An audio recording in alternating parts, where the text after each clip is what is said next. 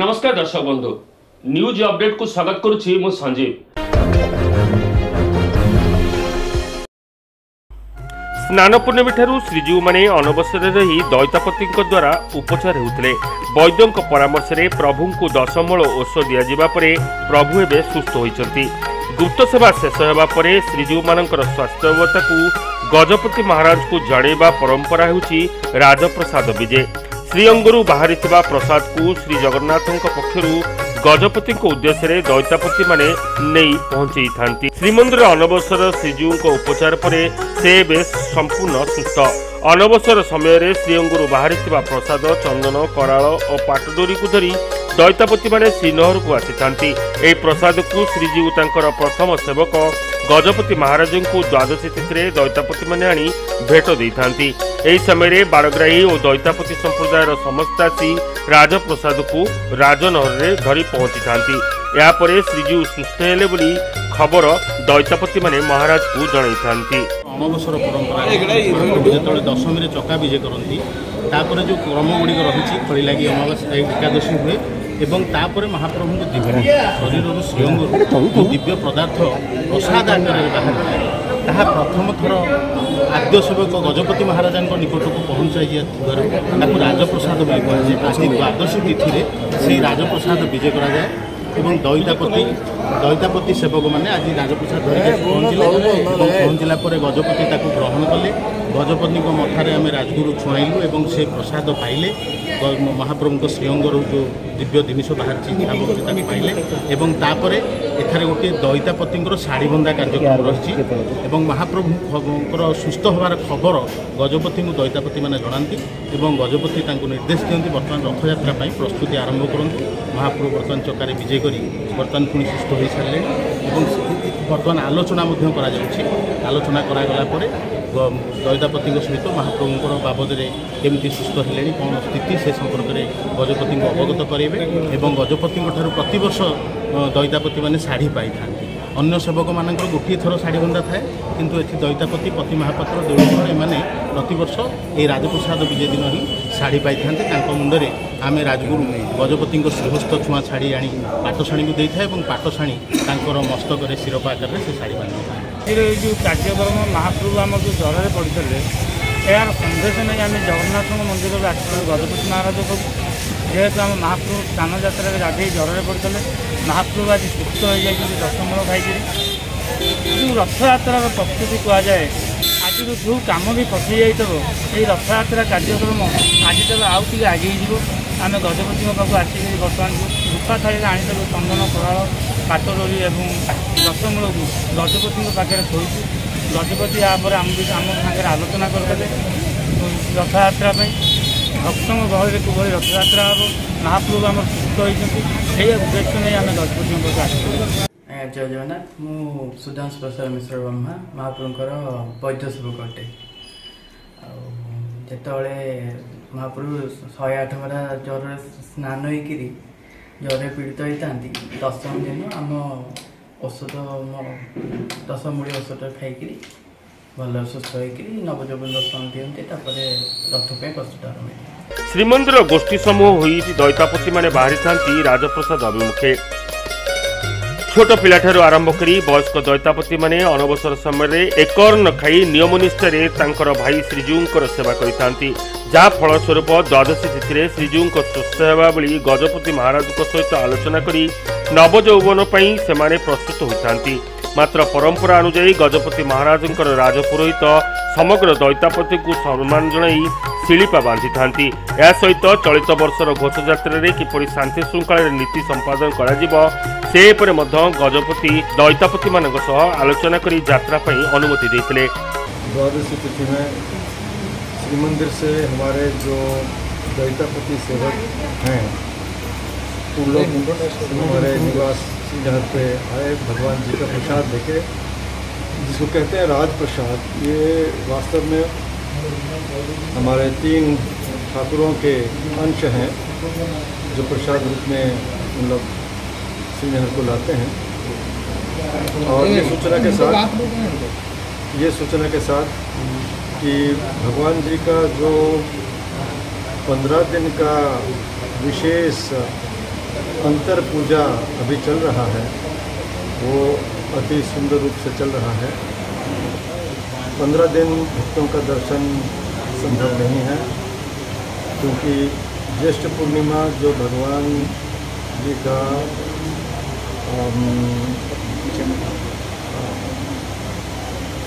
मैंने उनका नहीं नहीं उनका प्रकट होने का दिवस है। प्रथम प्रकट होने का जो दिवस दिवस। प्रकट होने का दिवस है। वो ज्येष्ठ पूर्णिमा है और उसी दिन भगवान जी स्नान करते हैं स्नान विधि पे आते उसके पश्चात पंद्रह दिन तक भगवान जी का दर्शन नहीं हुआ है। उनका अंतर सेवा होता है। अंदर में उनका जो हमारा मंदिर का गर्भगृह है उसके सामने सेवा होता है जिसको अब कोई दर्शन नहीं कर सकते हैं क्योंकि भगवान के कुछ परिवर्तन होते हैं। इसको हम लोग साधारण ढंग से समझते हैं कि भगवान जी अस्वस्थ हैं। ये भी समझ सकते हैं क्योंकि भगवान जी जब इस रूप में यहाँ प्रकट हुए पुरुषोत्तम क्षेत्र में अ, पहला बनवंतर में तो उसी समय में स्पष्ट उन्होंने किया था कि वो मनुष्य की लीला करेंगे। जैसे हम लोग का जीवन होता है, वैसे भगवान जी, जगन्नाथ जी का भी जीवन होता है। तो अस्वस्थ होते हैं, पर असल में अगर तात्विक दृष्टिकोण से देखा जाए, हमारे जो शरीर में जो सप्त धातु हैं, शरीर का हर अंग परिवर्तनशील है। हर मुहूर्त कुछ न कुछ परिवर्तन होते चल रहा है।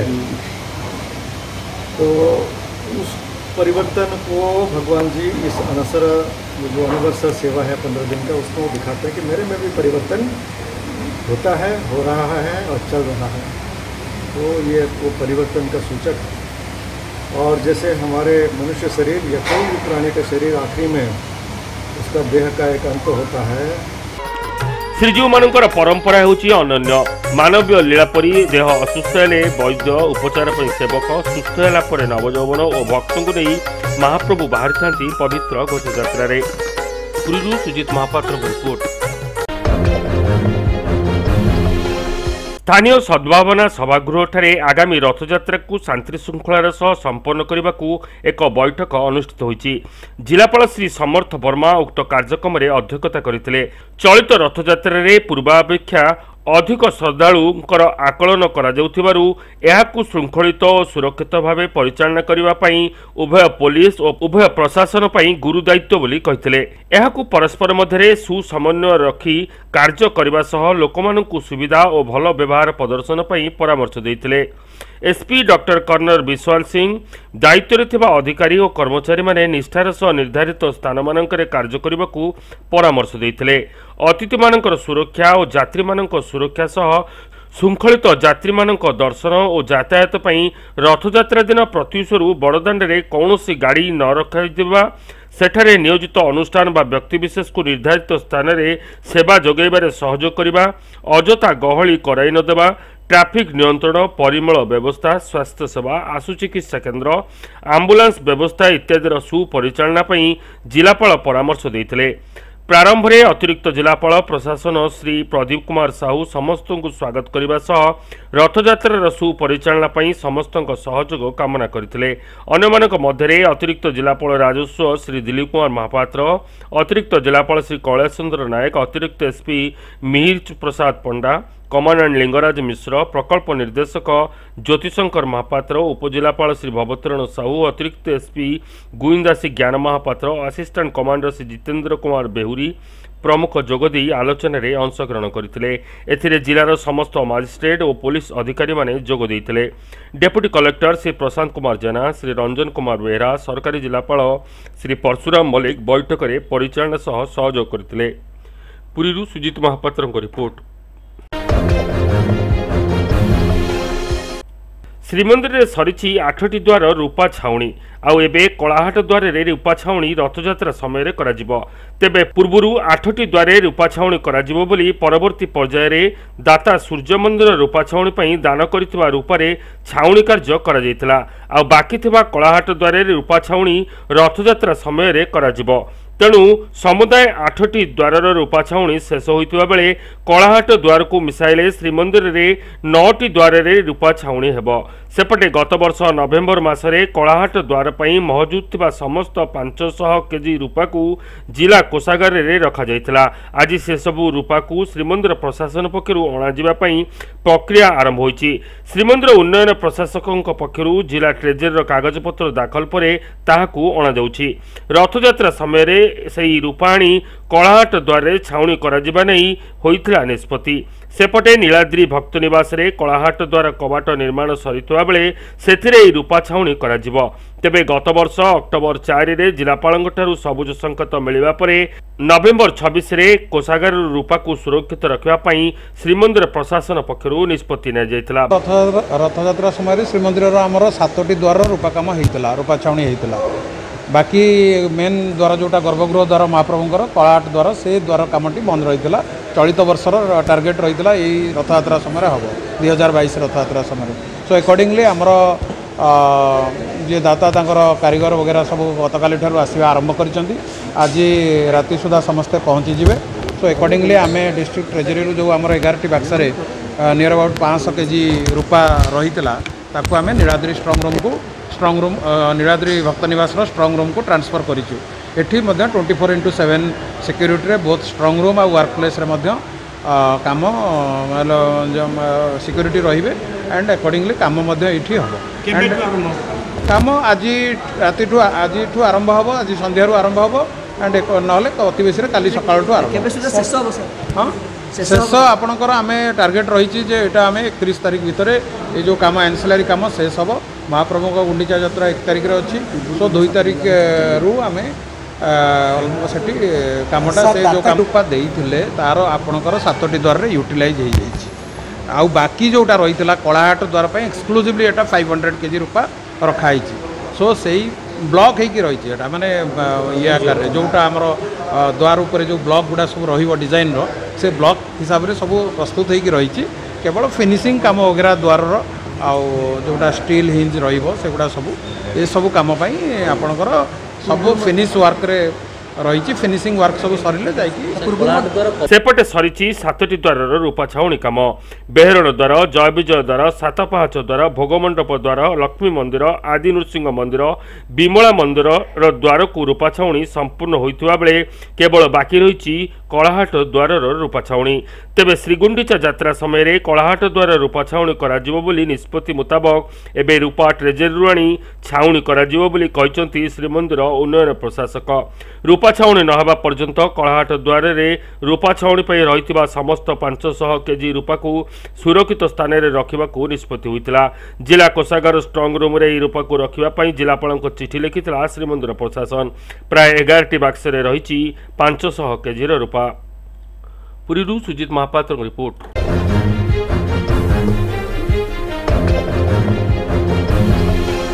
এবে সময় হয়েছে ছোট বিরতির। বিরতি পরে আমার এই খবর চালু রহব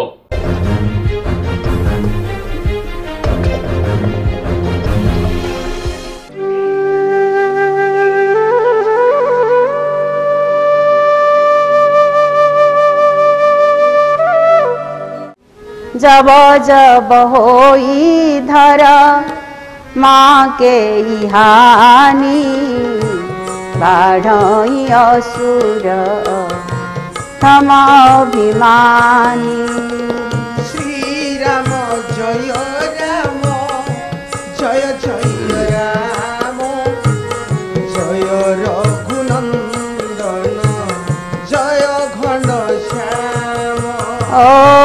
तब तब धरी प्रभु विविध शरीरा।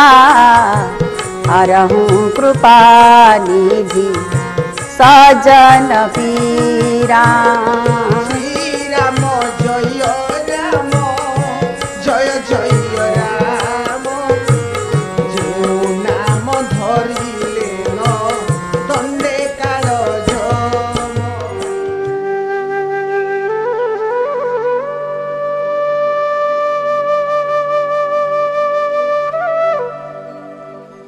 ଭାବ ଭକ୍ତିର ଚେତନାକୁ ନେଇ ଦେଖନ୍ତୁ ଆମର ସ୍ୱତନ୍ତ୍ର ଉପସ୍ଥାପନା ଭକ୍ତି ଚେତନା ପ୍ରତ୍ୟେକ ଦିନ ସକାଳ ସାତଟା ତିରିଶ ମିନିଟରେ କେବଳ ପ୍ରୟାସ ଟେଲିଭିଜନରେ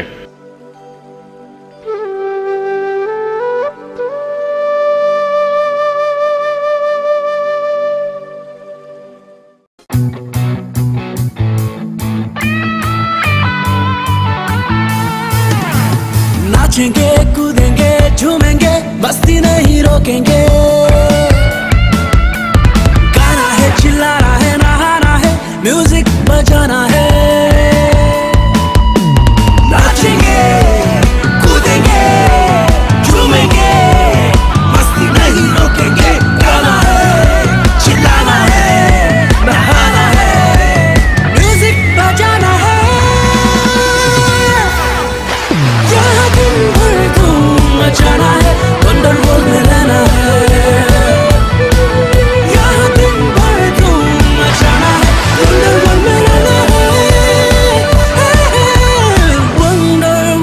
में रहना है।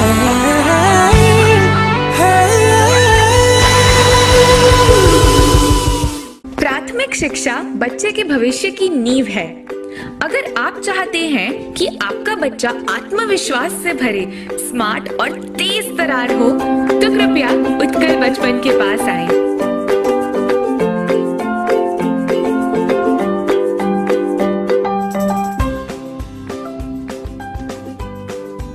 यह आपके बच्चे के लिए दूसरा घर होगा।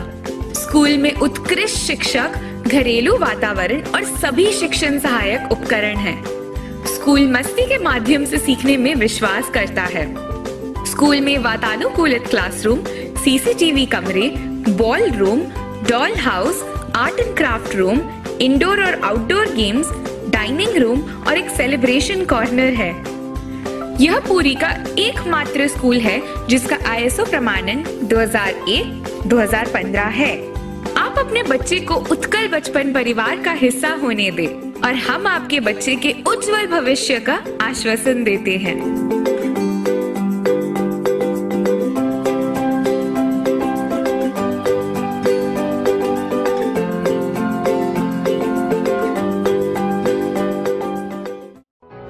ज़िंदगी भी क्या जिसमें प्यास ना हो। इस खुशियों के सीज़न पे बुझाइए अपनी प्यास सिर्फ़ अमृत के साथ। Amrit water with iron minerals प्यास ज़रूरी है। अमृत दुनिया सत्य पढ़ंतु सठिक पढ़ंतु पढ़ंतु अमृत दुनिया। ताजगी का एहसास अपने होठों से रूह तक Amrit water with added minerals प्यास ज़रूरी है। अमृत टोन मिल्क। कैल्शियम शक्ति सह पॅस्चराइज्ड अँड होमोजनाइज्ड जहाला एकदम pure Amrit tone milk. Meena ji मावा आपके सफ़र में आपके साथ स्वाद और क्वालिटी में दमदार। पाँच रुपए में प्रीमियम टेस्ट मीना जी मावा अब प्रीमियम पैक में। मीना जी प्रीमियम पान मसाला सिर्फ़ पाँच रुपए में मस्त मज़ा। मीना जी प्रीमियम पान मसाला अजवैन के अनगिनत गुणों से भरपूर एक ऐसा पाचक डाइजेस्टिव जो पेट को आराम दे जाए। मीना जी पाचक अजवैन, पाचक और गैस नाशक। खाने के शौकीन, अब कैसी चिंता? जब हर खाने के बाद हो मीना जी पाचक आमला। खाओ चटपट, हजम झटपट। मीना जी पाचक आमला। अदरक में है प्राकृतिक गुणकारी शक्तियाँ, जो पाचक के रूप में है वरदान हेल्दी हर्बल और गुणकारी। मीना जी पाचक जिंजर अमृत दुनिया। सत्य पढ़ंतु, सठिक पढ़ंतु पढ़ंतु अमृत दुनिया।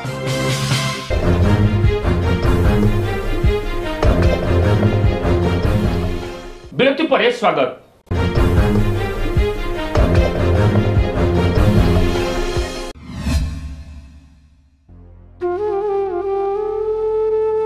ପ୍ରଖ୍ୟାତ ଚଳଚ୍ଚିତ୍ର ତାରକା ତଥା ଲୋକପ୍ରିୟ କଳାକାର ରାଇମୋହନ ପରିଡ଼ାଙ୍କର ଦେହାବଶେଷକୁ ସ୍ୱର୍ଗଦ୍ୱାର ଶ୍ମଶାନ ଘାଟରେ ଶବ ସଂସ୍କାର କରାଯାଇଛି। ଶବଯାତ୍ରା ରାତି ନଅଟାରେ ସ୍ୱର୍ଗଦ୍ୱାରରେ ପହଞ୍ଚିବା ପରେ ତାଙ୍କ ପ୍ରଶଂସକମାନେ ଶ୍ମଶାନ ଘାଟରେ ଶେଷ ଦର୍ଶନ କରିଥିଲେ।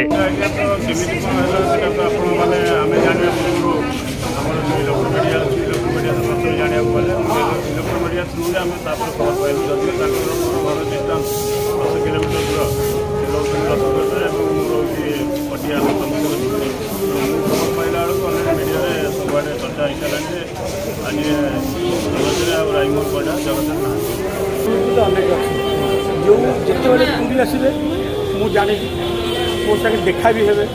ଆମେ ବାଇକ୍ରେ ବୁଲୁ କାର୍ରେ ବୁଲୁ ଘରକୁ ଆସୁ। ମୁଁ ବି ତାଙ୍କ ଘରକୁ ଯାଏ। ମହାପ୍ରସାଦ ଖାଉ ମନ୍ଦିର ଯାଉ। ପ୍ରତ୍ୟେକ ରଥକୁ ମଧ୍ୟ ସେ ଆସନ୍ତି। ରଥ ଦିନ ଆସନ୍ତି ରାତି ଦଶଟା ଏଗାରଟା ବେଳକୁ ଆସନ୍ତି। ରଥ ଉପରେ ମହାପ୍ରଭୁ ଦର୍ଶନ କରନ୍ତି ଦୁଇ ବର୍ଷ ହେଲା ଦର୍ଶନ କରୁଥିଲେ ଏଥର ପନ୍ଦର ଦିନ କୋଡ଼ିଏ ଦିନ ପୂର୍ବରୁ ଆସି କହିଲେ ଯେ କରୋନା ମୁଁ ଦୁଇ ବର୍ଷ ହେଲା ଦର୍ଶନ କରୁଛି ଏଥର ରଥକୁ ଆସିବି ରଥ ଉପରେ ଦର୍ଶନ କରିବି ରହିଗଲା ସେ ମାନେ ରାଇଭାଇଙ୍କ ସାଙ୍ଗେ ସମ୍ପର୍କ ପର୍ଯ୍ୟନ୍ତ ମୋ ଅନୁଷ୍ଠାନ ସାଇଭାଇ ସହିତ ବି ସେ ବହୁତ ଭାବରେ ଓତପ୍ରୋତ ଭାବରେ ଜଡ଼ିତ ଥିଲେ ସବୁ କାର୍ଯ୍ୟକ୍ରମରେ ସେ ଆଜି ଏମିତି ଗୋଟେ ଘଟଣା ଘଟିଛି ଯେଉଁ ଲୋକଟି ଆମକୁ ସବୁବେଳେ ବୁଝାଏ କେମିତି ଜୀ- ଜୀବନ ବଞ୍ଚିବାକୁ ହୁଏ ସିଏ ଆଜି ଘଟଣାଟା ଗୋଟେ ଘଟଣାରେ ଚାଲିଯିବ ସେଇଟା ବିଶ୍ୱାସ ବି କରିହେଉନି ଆଜି ଶେଷରେ ତାଙ୍କରି ଚୁଇ ସଜାଡ଼ିବାକୁ ପଡ଼ୁଛି ସେଇଟା ଭାରି କଷ୍ଟ ହେଉଛି ବି ରାଇମୋହନଙ୍କ ଦୁଇ ଝିଅ ଉଦିତା ପରିଡ଼ା ଏବଂ ଶେଫାଳି ପ୍ରିୟଦର୍ଶିନୀ ମୁଖାଗ୍ନି ଦେଇଥିଲେ। ଶେଷକୃତ୍ୟ କାର୍ଯ୍ୟରେ ପୁରୀ ସହରର ସ୍ୱେଚ୍ଛାସେବୀ ଅନୁଷ୍ଠାନ ସାହିବାହୀର କର୍ମକର୍ତ୍ତାମାନେ ସହଯୋଗ କରିଥିଲେ। ବହୁତ ଆଜି ମନ ଗୋଟେ ଅପୂରଣୀୟ କ୍ଷତି ହେଇଛି। Raymond sir is the most important actor in Odia industry ସେଥିରେ ମାନେ ତାଙ୍କ ଜାଗା କେହି ବି ପୂରଣ କରିପାରିବେ ନାହିଁ। ସେ ବି ଯଦି ବି ଆଗ ଧାଡ଼ିର କହିବାକୁ ଗଲେ ରାଇମଣ୍ଡ ସାର୍ଙ୍କୁ କହିବାକୁ ଗଲେ ବୁଝିବାକୁ ଗଲେ ସେ ଯଦି ବି ତାଙ୍କର ଜୁନିୟରମାନଙ୍କୁ ସେ ଭଲ ପ୍ରେରଣା ଦେଇଥାନ୍ତି ଆଗକୁ କେମିତି ବଢ଼ିବା ପାଇଁ ତାଙ୍କ ସତ୍ସାହସ ଦେଇଥାନ୍ତି ଏବଂ ତାଙ୍କଠାରୁ କିଛି ଶିଖିବାକୁ ମିଳେ ଯେଉଁ ଓଡ଼ିଆ ଇଣ୍ଡଷ୍ଟ୍ରି ଯେତେ ଜାଗାରେ ବି ସୁଟିଂ ସାଇଟ୍କୁ ମୁଁ ଯାଇଛି ଆଉ ତାଙ୍କ ସହିତ ବି ଯାଇଛି ବହୁତ ଖୁସି ଲାଗେ ତାଙ୍କ ସହିତ। ଆଉ ତାଙ୍କୁ ଦେଖିଲେ ଲାଗେ ଗୋଟେ ମାନେ ବହୁତ ରାଗି କିନ୍ତୁ ତାଙ୍କ ମନ ଭିତରେ ସେମିତି କିଛି ନଥାଏ ବେଷ୍ଟ ଆକ୍ଟର ତ ଯାତ୍ରା ଯାତ୍ରା ଜଗତରେ ଯେତେବେଳେ ପାଦ ଥାପିଥିଲେ ଯାତ୍ରା ଜଗତକୁ ୱାଓ କରିକି ସେ ଆଜି ପହଞ୍ଚିଛନ୍ତି ଏ ଜାଗାରେ। ଯାତ୍ରା ଜଗତ ତାଙ୍କ ପାଇଁ ଆଜି ବହୁତ ଭାଙ୍ଗି ପଡ଼ିଛି। ଶ୍ମଶାନ ଘାଟରେ ରାଇମୋହନଙ୍କର ଷଢ଼ୁ ବଡ଼ ଜ୍ୱାଇଁ ସ୍ନେହ ସମ୍ପର୍କୀୟମାନେ ଉପସ୍ଥିତ ଥିଲେ। ପୁରୀରୁ ସୁଜିତ ମହାପାତ୍ରଙ୍କ ରିପୋର୍ଟ ପୁରୀରେ ପନ୍ଦରତମ ଟାଇକୁଣ୍ଡୁ ପ୍ରତିଯୋଗିତା ଅନୁଷ୍ଠିତ ହୋଇଯାଇଛି ଟାଇକୁଣ୍ଡୁ ଆସୋସିଏସନ୍ ଅଫ୍ ପୁରୀ ତରଫରୁ ରେଲବାଇ କଲ୍ୟାଣ ମଣ୍ଡପଠାରେ ପନ୍ଦରତମ ଟାଇକୁଣ୍ଡୁ ପ୍ରତିଯୋଗିତା ଅନୁଷ୍ଠିତ ହୋଇଯାଇଛି ପୁରୀ ଜିଲ୍ଲାର ଏଗାରଟି ବ୍ଲକରୁ ଚଉଦଟି ଟ୍ରେନିଂ ସେଣ୍ଟରରୁ ପାଞ୍ଚଶହରୁ ଉର୍ଦ୍ଧ୍ୱ ବାଳକ ବାଳିକା ଏହି ପ୍ରତିଯୋଗିତାରେ ଅଂଶଗ୍ରହଣ କରିଥିଲେ ପ୍ରଥମତଃ ଆଗ ମନମୋହନ ଭଞ୍ଜଙ୍କୁ ଧନ୍ୟବାଦ ଦେବି ଓଡ଼ିଶା ସାଇକେଲର ସେକ୍ରେଟାରୀ ଆଉ ଏତେ ସୁନ୍ଦର ଭାବରେ ଏଇଟା ଖାଲି ପୁରୀ ଜିଲ୍ଲାର ହେଉଛି କୌଣସି ଖେଳ ଏମିତି ନାହିଁ କୌଣସି ଶୃଙ୍ଖଳା ନାହିଁ ପାଞ୍ଚଶହ ଛଅଶହ ଛୁଆଙ୍କୁ ଧରିକିରି ପୁଅ ଝିଅଙ୍କୁ ଧରିକିରି ଖେଳ କରିବା ଗୋଟେ ଅନ୍ୟ କୌଣସି ଖେଳରେ ଶୃଙ୍ଖଳାରେ ମଧ୍ୟ ଏଇଟା ଦେଖିନୁ ଆମେ ଶୃଙ୍ଖଳା ସହିତ ଜଡ଼ିତ ଅଛି ଆଉ ଥରେ ଧନ୍ୟବାଦ ଦେଉଛି ଜଗନ୍ନାଥଙ୍କୁ ପ୍ରାର୍ଥନା କରୁଛି ଯେ ଏ ଟାଇକୁଣ୍ଡ ଆସୋସିଏସନ୍ ଏ ଯେଉଁ ଯାହାକୁ ଏକୁଟି ଅର୍ଗାନାଇଜ୍ କରିଛନ୍ତି ଓଡ଼ିଶାର ସେକ୍ରେଟାରୀଙ୍କୁ ଖେଳର ସର୍ବଭାରତୀୟ ସ୍ତରରେ ପୃଥିବୀରେ ମଧ୍ୟ ଏହାକୁ ବ୍ୟାପୃତ କରନ୍ତୁ ଏବଂ ଏହାର ଧରୁ ଯେଉଁ ପ୍ରକାର ପିଲା ଅଛନ୍ତି ଏ ପିଲା ଏତେ ସୁନ୍ଦର ଭାବରେ ପ୍ରସ୍ତୁତି ଯେଉଁ କରିଛନ୍ତି ଆମର ଏଗାରଟା ବ୍ଲକରେ ବ୍ଲକ ବ୍ଲକରୁ ପିଲା ଆସିଛନ୍ତି ଏଗାରଟା ବ୍ଲକର ପିଲାମାନେ ମଧ୍ୟ ବହୁତ ଭଲ ପିଲା ଅଛନ୍ତି ବହୁତ ଭଲ ଷ୍ଟାଣ୍ଡାର୍ଡ ଅଛି କିନ୍ତୁ ଏଙ୍କର ଯେଉଁ କୋଚ୍ ଭଞ୍ଜବାବୁ ବହୁତ ଭଲ ଭାବେ ପ୍ରଶିକ୍ଷଣ ଦେଉଛନ୍ତି ଆଜି ହେଲା ପନ୍ଦରତମ ପୁରୀ ଜିଲ୍ଲା କ୍ଷୀରୋଗୀ ଚମ୍ପିଅନସିପ୍ ଏବଂ ସପ୍ତମ ପୁରୀ ଜିଲ୍ଲା ପୁରୁଷ ଚମ୍ପିଅନସିପ୍ ଅନୁଷ୍ଠିତ ହେଉଛି ଆଜ୍ଞା କୋଉଠୁ କୋଉଠୁ ସାର୍ ଆସୁଛନ୍ତି ପୁରୀ ଜିଲ୍ଲାର ଏଗାରଟି ବ୍ଲକ ଚଉଦଟି ଟ୍ରେନିଂ ସେଣ୍ଟରକୁ ଛଅଶହ ଉର୍ଦ୍ଧ୍ୱ ବାଳକ ବାଳିକା ପ୍ରତିଯୋଗୀ ପ୍ରତିଯୋଗୀ ସେଥିରେ ଅଂଶଗ୍ରହଣ କରୁଛନ୍ତି ରାଜ୍ୟ ସଂଘ ତରଫରୁ ପଚିଶ ଜଣ ଜାତୀୟ ରେଫରୀ ନିଯୁକ୍ତି ହେଇଛନ୍ତି ତା ସହିତ ଜାତୀୟ ସଂଘ ଅବଜର୍ଭର ମଧ୍ୟ ନିଯୁକ୍ତି କରିଛନ୍ତି ଯେଉଁ ଖେଳକୁ ତତ୍ତ୍ୱାବଧାନ ଭଲ ଭାବେ ଆଜ୍ଞା ସାର୍ ଏଠୁ ଉତ୍ତୀର୍ଣ୍ଣ ହେଲା ପରେ ପିଲାମାନେ କ'ଣ ଏ କରିବେ ଯେଉଁ ଛୋଟ ପିଲା ଖେଳୁଛନ୍ତି ତିନି ବର୍ଷ ଉର୍ଦ୍ଧ୍ୱ ବାଳକ ବାଳିକା ଖେଳୁଛନ୍ତି ଯେଉଁଟା ସବୁ ସ୍କୁଲରେ ପାଠ ପଢ଼ୁଛନ୍ତି ଏଠି ଯେଉଁମାନେ ଗୋଲ୍ଡ ମେଡ଼ାଲ ପାଇବେ ଆସନ୍ତା ମାସ ହେଉଥିବା ରାଜ୍ୟସ୍ତରୀୟ ପ୍ରତିଯୋଗିତା ଅଂଶଗ୍ରହଣ କରିବେ ଆଚ୍ଛା ସାର୍ ସରକାରଙ୍କ ପକ୍ଷରୁ ଖେଳ ପାଇଁ କ'ଣ ସବୁ ପ୍ରୋତ୍ସାହନ ମିଳୁଛି ସରକାର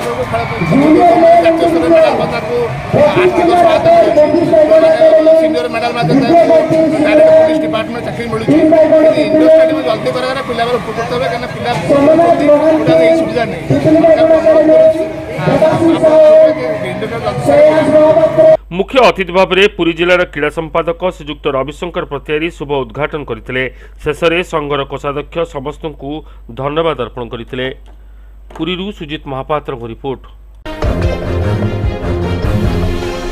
आगामी रथयात्रा को आखाए रखी सेंट जन पक्ष हापिनेस फाउंडेशन डिविजन को first aid training camp Puri Balagandi ଛକ ସ୍ଥିତ ଭକ୍ତ ସାଲବକ ପୀଠଠାରେ ଅନୁଷ୍ଠିତ ହୋଇଛି। ଉକ୍ତ କାର୍ଯ୍ୟକ୍ରମରେ ମନୋଜ ମୁଖାର୍ଜୀ ଦିଲ୍ଲୀପ ମିଶ୍ର ଡକ୍ଟର ଅର୍ଣ୍ଣ ପଟ୍ଟନାୟକ ଦେବପ୍ରସାଦ ଦାସ ହାପିନେସ୍ ଫାଉଣ୍ଡେସନର ପ୍ରତିଷ୍ଠାତା ପ୍ରଦୀପ କୁମାର ପ୍ରଧାନ ଜୟନ୍ତୀ ମହାପାତ୍ର ପ୍ରମୁଖ ହାପିନେସ୍ ଫାଉଣ୍ଡେସନର ପଚିଶ ଜଣ କର୍ମକର୍ତ୍ତାମାନଙ୍କୁ ପ୍ରାଥମିକ ଚିକିତ୍ସା ବିଷୟରେ ଶିକ୍ଷା ପ୍ରଦାନ କରିଥିଲେ। ପ୍ରାଥମିକ ଚିକିତ୍ସା ବିଷୟରେ ପଚିଶ ଜଣ ଅଂଶଗ୍ରହଣକାରୀ ସେ ଅଂଶଗ୍ରହଣ କଲେ। ଏବଂ ଆମେ ଦୁଇ ଜଣ ପ୍ରଶିକ୍ଷକ ଡକ୍ଟର ଦିଲ୍ଲୀପ କୁମାର ମିଶ୍ର ଏବଂ ମନୋଜ କୁମାର ମୁଖାର୍ଜୀ ଏ ତିନି ଦିନ ଧରି ଟ୍ରେନିଂ ଆମର ଅନୁଷ୍ଠିତ ହେଲା ସେଥିରେ ଆମର କିଛି ଥିଓରି ଏବଂ ପ୍ରାକ୍ଟିକାଲ ରଥଯାତ୍ରାରେ ଆମର କ'ଣ ଗହଳି ଭିତରେ ଯେତେବେଳେ ରଥ ଟଣା ହୁଏ ସାଧାରଣତଃ ଗହଳି ଭିତରେ ଲୋକ ଚାପିଯାଏ ଏବଂ ସେଇ କେସ୍ରେ ଆମର କିଏ ମୂର୍ଚ୍ଛା ହେଇ ପଡ଼ିଯାଆନ୍ତି ଆଉ ସେଠି ସେ ତୁରନ୍ତ ସେମିତି ଇଭାକୁଏଟ୍ କରି ଗହଳି ଭିତରୁ ତାଙ୍କୁ ତୁରନ୍ତ ଖୋଲା ସ୍ଥାନକୁ ଆଣି ଯାହା ପ୍ରଥମ ଚିକିତ୍ସା ଦେଇକି ତାଙ୍କୁ ତୁରନ୍ତ ହସ୍ପିଟାଲାଇଜ୍ କରିବା ଆମର ଏଇଟା ମୁଖ୍ୟ ଉଦ୍ଦେଶ୍ୟ ଆମର ରହିବ। ଯାହା ହଉ ସେଣ୍ଟ ଜନ୍ ଆମ୍ବୁଲାନ୍ସର ପୁରୀ ଶାଖା ତରଫରୁ ଗୋଟେ ଅର୍ଗ- ମାନେ ଅତ୍ୟନ୍ତ ଭଲ ପ୍ରୟାସ। ଆଗାମୀ ରଥଯାତ୍ରାକୁ ଆଖି ଆଗରେ ରଖି ଆମ ଶାଖାର ପୁରୀ ଜିଲ୍ଲା ଶାଖାର ଶ୍ରୀଯୁକ୍ତ ମଧୁସୂଦନ ମିଶ୍ର ପିଲାମାନଙ୍କୁ ଆଉ ଗୋଟେ happiness foundation division saint John ଆମ୍ବୁଲାନ୍ସର କ୍ରିଏଟ୍ କରୁଛନ୍ତି। ଯେଉଁଟାକି ତା ଦେହରେ ପଚିଶରୁ ତିରିଶ ପିଲାମାନେ ଆଜି ଫାଷ୍ଟ ଟ୍ରେନିଂ ନେଉଛନ୍ତି। କାଲିଠୁ ଆରମ୍ଭ ହୋଇଗଲାଣି। ପିଲାମାନେ ଟ୍ରେନିଂ ନେଉଛନ୍ତି। ଯେଉଁଟା ଆଗାମୀ ରଥଯାତ୍ରାରେ ବହୁତ କାମରେ ଆସିବ। ଉକ୍ତ କାର୍ଯ୍ୟକ୍ରମକୁ ସେଣ୍ଟ ଜନ୍ ଆମ୍ବୁଲାନ୍ସର ପୁରୀ ଜିଲ୍ଲା ସହ ସମ୍ପାଦକ ମଧୁସୂଦନ ମିଶ୍ରଙ୍କ ଦ୍ୱାରା ପରିଚାଳନା କରାଯାଇଥିଲା। ପୁରୀରୁ ସୁଜିତ ମହାପାତ୍ରଙ୍କ ରିପୋର୍ଟ।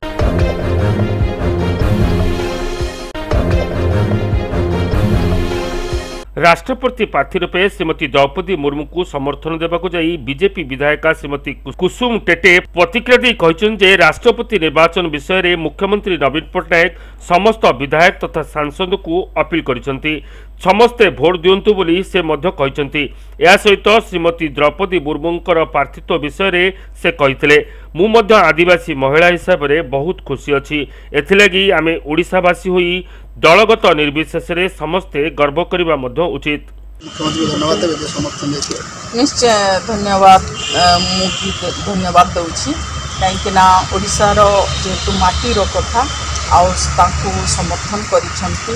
ତା ଭିତରେ ଜଣେ ଆଦିବାସୀ ମହିଳା ଆଉ ସରଳ ମହିଳା ଯେଉଁଟାକି ତାଙ୍କର ଯେତିକି ବି କାର୍ଯ୍ୟକଳାପ ଆମେ ବି ଦେଖିଛୁ ଟି ଭି ମାଧ୍ୟମରେ। ଆଉ ମୁଁ ତ ଥରେ ଖାଲି ତାଙ୍କ ସାଙ୍ଗରେ ସ- ସାମ୍ନାସାମ୍ନି ଏଇ ତାଙ୍କର ଯେଉଁ ସ୍କୁଲରେ ପଢ଼ୁଥିଲେ ସେଠି ଗୋଟେ ଫଙ୍କସନ୍ ଥିଲା ଯେତେବେଳେ ଗଭର୍ଣ୍ଣର ଥିଲେ ସେଇ ସମୟରେ ଆମେ ଭେଟିବାର ସୁଯୋଗ ପାଇଥିଲୁ। ସେ ସମୟରେ ବି ମୁଁ ତାଙ୍କ ସାଙ୍ଗରେ ଯେଉଁ କଥା ହେଇଥିଲି ଆ, ବହୁତ ସରଳ ତାଙ୍କର କଥାବାର୍ତ୍ତା ଆ, ସମାନ ସରକାରରେ କଥା ହେଇଥିଲି। ଆଉ ଆଜି ଭାରତ ସରକାର ଯଶସ୍ୱୀ ନରେନ୍ଦ୍ର ମୋଦିଜୀଙ୍କୁ ମୁଁ ଧନ୍ୟବାଦ ଦେବି ଯେ ଏତେ ବଡ଼ ଉପହାର ଦେଇଛନ୍ତି। ଏ, ସବୁବେଳେ ତ ଉପହାର ଦେଲା ଭଳିଆ ଦେଉଛନ୍ତି କିନ୍ତୁ ଏତେ ବଡ଼ ଉପହାର ଯେଉଁଟାକି ଆ, ସ୍ୱର୍ଣ୍ଣ ଲେଖାରେ ମଧ୍ୟ ଲିପିବଦ୍ଧ ହେବ ଯେଉଁଟାକି ଆ, ମହାମହିମ ଆ, ରାଷ୍ଟ୍ରପତି ହେବାର ଗୋଟେ ଆମର ଓଡ଼ିଶାବାସୀଙ୍କୁ ଦେଲେ ଆଉ ଆଦିବାସୀ ଜଣେ ମହିଳା ଆ, ନେତ୍ରୀକୁ ଦେଲେ। ଭୁବନେଶ୍ୱରରୁ ବିଶ୍ୱଜିତ ଦାସଙ୍କ ରିପୋର୍ଟ। ଏସ୍ଟିଏଫ୍ ପକ୍ଷରୁ ଭୁବନେଶ୍ୱରଠାରେ ଆୟୋଜିତ ଏକ ସାମ୍ବାଦିକ ସମ୍ମିଳନୀରେ ଶ୍ରୀମତୀ ବିଳାସିନୀ ବାରିକ ଏବଂ ଶ୍ରୀ ଆର୍ କେ ରଥ ସୂଚନା ଦେଇ କହିଛନ୍ତି ଯେ ଏକ ବିଶେଷ ସୂତ୍ରରୁ ଖବର ପାଇ ଏସ୍ଟିଏଫ୍ ଟିମ୍ ଖୋର୍ଦ୍ଧାର ପିତାପାଲି ଛକଠାରେ ଅପେକ୍ଷା କରିଥିଲେ। କିଛି ସମୟ ପରେ ଏକ ଫୁଡ୍ କଣ୍ଟେନର ଗାଡ଼ିକୁ ଅଟକାଇ ଯାଞ୍ଚ କରିବାରୁ ଗାଡ଼ିରେ ଫୁଡ୍ ଚାମ୍ବରରୁ ପ୍ରାୟ ଆଠ କିଲୋଗ୍ରାମ ଗଞ୍ଜେଇ ବାହାରିଥିଲା। ଏହି ଗାଡ଼ିରେ ଦୁଇ ଜଣ ଥିଲେ। ଜଣଙ୍କର ଘର ଉତ୍ତରପ୍ରଦେଶ ଏବଂ ଅନ୍ୟ ଜଣେ ନେପାଳର ବୋଲି ଜଣାପଡ଼ିଥିଲା। କିନ୍ତୁ ଏବେ ସେ ଦିଲ୍ଲୀରେ ରହୁଥିବା ସୂଚନା ଏସ୍ଟିଏଫ୍କୁ ମିଳିଛି ଏହାପରେ ଏହି ମାମଲାରେ ଦୁଇ ଜଣଙ୍କୁ କୋର୍ଟ ଫରୱାର୍ଡ କରାଯାଇଛି ଏହି ଘଟଣାରେ ଆଉ କିଏ ସମ୍ପୃକ୍ତ ସେଥିଲାଗି ପୋଲିସ ପକ୍ଷରୁ ଅନୁସନ୍ଧାନ ଜାରି ରହିଛି ଭୁବନେଶ୍ୱରରୁ ବିଶ୍ୱଜିତ ଦାସଙ୍କ ରିପୋର୍ଟ